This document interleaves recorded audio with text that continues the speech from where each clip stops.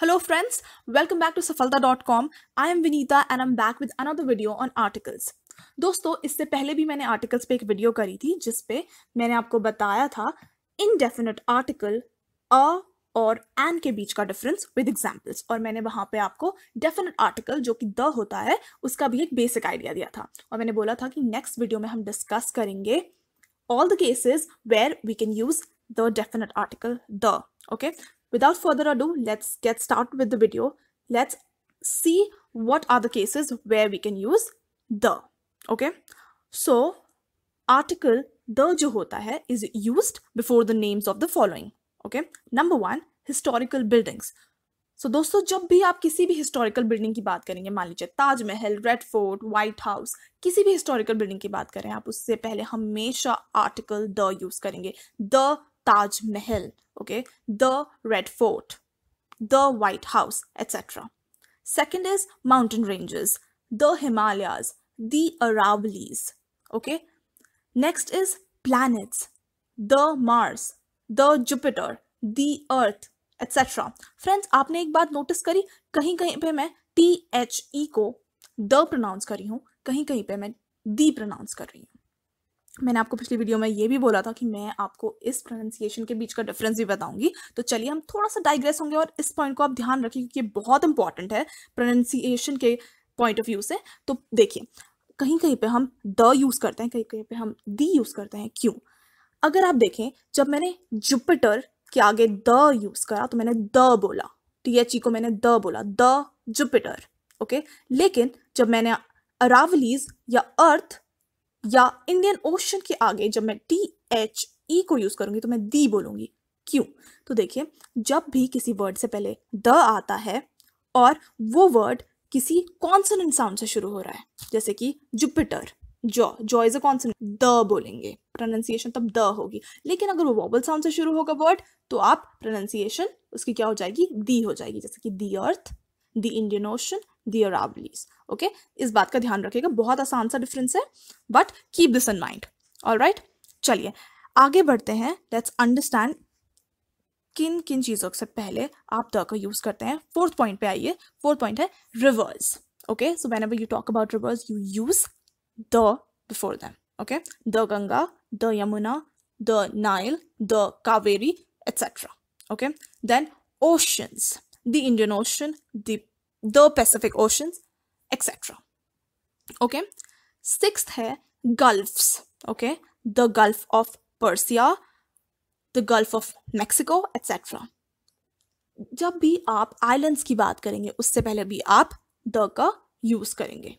All right let's move forward let's see eighth वाले point में अगर आप देखें तो क्या है? When we talk about holy books okay holy books जैसे कि रामायण, भगवत गीता, कुरान, बाइबल, जब आप इनकी बात करते हैं, इससे पहले भी आप आर्टिकल द का यूज़ करते हैं, ओके? बिफोर ऑर्डिनल्स ऑर्डिनल्स क्या होते हैं? एक तो आप नंबर्स को वन, टू, थ्री, फोर करके काउंट करते हैं, दूसरा आप फ़र्स्ट, सेकंड, थर्ड जब बोलते हैं तो वो ऑर्डिनल्स होते हैं तो जब भी आप फ़र्स्ट, सेकंड, थर्ड बोलेंगे तो उससे पहले आप हमेशा द फ़र्स्ट, ओके, या the second okay? This is the first chapter in the book of english grammar okay okay? अगर मैं ये बोलना चाहती हूँ तो आप द फर्स्ट बोलेंगे हमेशा ओके okay? आप ये नहीं बोलेंगे this is first chapter that is wrong okay it is grammatically incorrect आप बोलेंगे this is the first chapter और द सेकेंड चैप्टर और the third chapter okay so my point being here is that you will use the before ordinals okay tenth पे आप देखिए लिखा है countries names before united और republic okay अब देखिए, जो भी आप कंट्री का नाम बोलते हैं कभी भी तो आप कभी भी द का यूज़ नहीं करते ओके द कैनेडा नहीं होता द इंडिया नहीं होता, वो गलत होता है, आप नहीं बोल सकते ये, ठीक है? पर अगर किसी भी कंट्री के नाम से पहले यूनाइटेड आता है या रिपब्लिक आता है, जैसे कि the United States of America okay तो आप द बोलेंगे तब okay the UK the U etcetera okay I hope this is clear क्या है? किसी भी कंट्री के नाम से पहले द नहीं आएगा, द जापान नहीं होता, द चाइना नहीं होता। पर अगर यूनाइटेड या रिपब्लिक आया है तो आप क्या यूज़ करेंगे? The. Okay?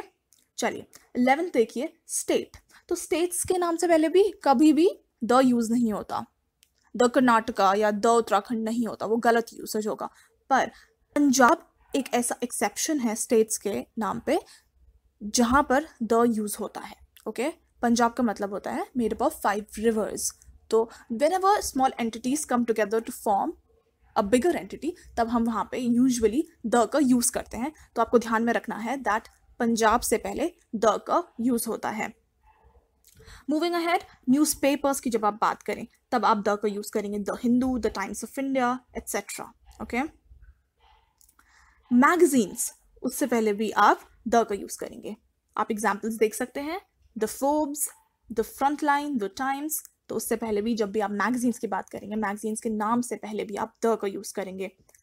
Next is deserts the Sahara desert okay fifteen point पे मैं आप चाहती हूँ कि आप फोकस करें, जब भी आप सुपरलेटिव डिग्री का यूज़ करेंगे तो this is the tastiest ice cream I have ever had okay this is tastiest ice cream नहीं बोलेंगे this is the he is the tallest man I have ever met तो जब भी आप best greatest tallest tastiest smartest जब भी आप superlative degree की बात कर रहे हैं तो उससे पहले भी आप हमेशा आर्टिकल द का यूज़ करेंगे। नेक्स्ट इज़ ट्रेन ट्रेन से पहले भी आप हमेशा, किसी भी ट्रेन के नाम से पहले भी आप हमेशा कौन सा यूज़ करेंगे? आर्टिकल द आर्टिकल का यूज़ करेंगे। Okay then we go ahead and see आगे हम कौन से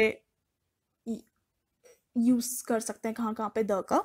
तो देखिए होटल्स का जब आप नाम लेंगे, तब भी आप उससे पहले द यूज़ करेंगे सीज के नाम में आप द यूज़ करेंगे कनाल्स के नाम से पहले आप द यूज़ करेंगे the Suez canal the Rajasthan canal etcetera okay जो आप बेज जैसे कि आप द बे ऑफ़ बंगाल बोलते हैं ओके okay? तो उससे पहले भी आप द यूज़ करते हैं।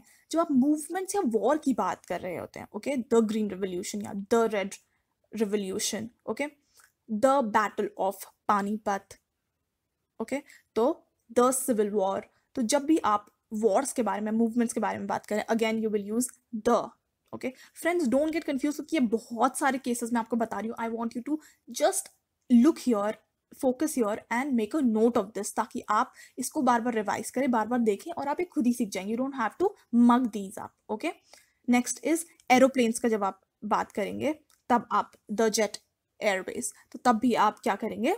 हमेशा द का यूज़ करेंगे। पॉलिटिकल पार्टीज़ के नाम से पहले आप द का यूज़ करेंगे, the BJP, the Congress etcetera जब आप इन्वेंशंस की बात कर रहे हैं ओके okay? जैसे कि टेलीफोन इन्वेंशन है रेडियो है टेलीस्कोप है, तब इनकी जब बात कर रहे हैं तो आप हमेशा उससे पहले भी द लगाएँगे ओके नेक्स्ट रिलीजियस कम्युनिटीज़ की जब आप बात कर रहे हैं तो आप द हिंदूज द मुस्लिम्स ऐसे बोलते हैं okay the Christians etcetera okay तो आई होप ये भी आप ध्यान में रखेंगे। मूविंग अहेड जब आप क्लब्स की बात कर रहे हैं, कोई भी अगर क्लब की बात कर रहे हैं आप तो आप तब भी द का यूज़ करेंगे। जब आप कप्स और ट्रॉफीज की बात करते हैं the Ranji trophy the world cup तब भी आप द का यूज़ करते हैं। ना twenty eight is the organs of government okay जब आप गवर्नमेंट के ऑर्गन्स की बात करते हैं, जैसे कि द जुडिशरी या the Indian Penal Code, the legislature, the Lok Sabha, the Supreme Court, the High Court. Okay?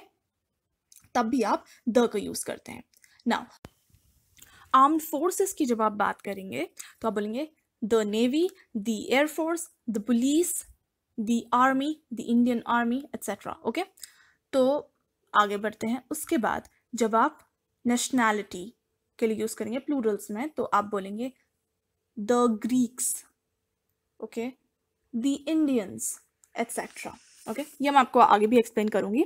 अभी आप थर्टी फ़र्स्ट वाले में आ जाइए।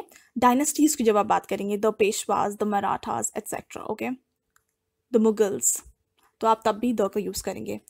एम्पायर्स की जब आप बात करेंगे the British empire the Mughal empire तो आप क्या बोलेंगे? तब भी द का यूज़ करेंगे। सेंचुरीज की बात करने में भी आप द का यूज़ करेंगे। The we live in the twenty first century तो the twenty first century okay lastly जब आप म्यूजिकल इंस्ट्रूमेंट्स की बात करेंगे, तब भी आप द का यूज़ करेंगे। तो गाइज़ ये एक बहुत लंबी लिस्ट है। डोंट गेट वरीड मैंने क्या बोला आपको? आपको बस वंस इन वाइल इसको देखना है and try to use it correctly जब आप बात करते तो आप सही इसको यूज़ करने की कोशिश कीजिए तो आपको ये आसानी से आ जाएगा। Now I am going to discuss a few more cases जहाँ पे आप द का यूज़ कर सकते हैं। Okay okay? ये बहुत इंपॉर्टेंट है। ध्यान से देखिए। जब भी आप डेट्स की बात करते हैं okay my birthday is on the tenth of November अगर मैं ये बोल रही हूँ तो मैं डेट टेंथ ऑफ़ नवंबर जो डेट है, उससे पहले द का यूज़ करूँगी okay teachers day is on the fifth of September तो the fifth of September is on fifth of September नहीं on the fifth of September okay I hope you will remember this कि जब भी आप dates का use करें, उससे पहले भी आप द यूज़ करते हैं okay now this is very very important, this point, the next point is very important. Now, whenever you talk about languages language से पहले आप कहीं भी द यूज़ नहीं करते। अगर मुझे बोलना है कि संस्कृत बहुत पुरानी लैंग्वेज है या सबसे पुरानी लैंग्वेज है तो मैं बोलूँगी, Sanskrit is the oldest language okay? मैं नहीं बोलूँगी, the Sanskrit is the oldest language. फिर वो गलत हो जाएगा। द संस्कृत नहीं हो सकता। संस्कृत या Sanskrit is the oldest language होगा, ओके? नाउ, अगर आपको नेशनैलिटी की बात करनी है, तब आप उस लैंग्वेज के आगे द लगा देते हैं। जैसे कि मैंने बोला, Chinese is a very tough language. Okay? अब मैं यहाँ पे चाइनीज़ की जब बात करती हूँ, मैं चाइनीज़ लैंग्वेज की बात कर रही हूँ। ओके, जो बोली है लैंग्वेज उसकी बात कर रही हूँ, भाषा की बात कर रही हूँ यहाँ पे। पर जब मैं बोलती हूँ the Chinese are hard working अब मैं जब यहाँ पे मैंने जो चाइनीज़ यूज़ किया है, मैं यहाँ पे लैंग्वेज की बात नहीं कर रही हूँ, मैं क्या बात कर रही हूँ? I am talking about the people of China the Chinese are hard working मतलब मैं लोगों की बात कर रही हूँ जो चाइना में रहते हैं। I am talking about the nationality here okay so whenever you use the before any language इसका मतलब आप तब वहाँ पे नेशनैलिटी की बात कर रहे हैं ओके? अदरवाइज़ जब आप लैंग्वेज की बात करें तो आप द यूज़ नहीं करेंगे ओके okay? बट आप जब नेशनैलिटी की बात करें तो आप उस लैंग्वेज के आगे द यूज़ करते हैं। सेकेंड एग्ज़ाम्पल जैसे कि है the Japanese are patriots out and out मतलब जापनीज पैट्रॉइड्स होते हैं। ना तो आपने क्या बोला? द जापनीज यहाँ पे आप जापनीज लैंग्वेज की बात नहीं कर रहे हैं। आप क्या बात कर रहे हैं? नेशनैलिटी की बात कर रहे हैं। You talking about the people of Japan okay friends I hope these points have been clear to you ये वीडियो भी बहुत लंबी बन चुकी है तो अगली वीडियो में एक और बनाऊँगी आर्टिकल्स पे, जिसमें हम एक्सरसाइजेस करेंगे, जिसमें हम क्वेश्चंस डिस्कस करेंगे, और मैं आपको कुछ क्वेश्चंस दूँगी, और आप उनको आंसर करेंगे मेरे साथ, जिससे कि हम अपनी अंडरस्टैंडिंग को इवेल्युएट कर पाएँगे। Now I hope you get this I hope you found this video useful आप इसे प्लीज़ रिवाइज करते रहिए। And if you like this video please comment like share and subscribe to our channel. I will see you super soon. Bye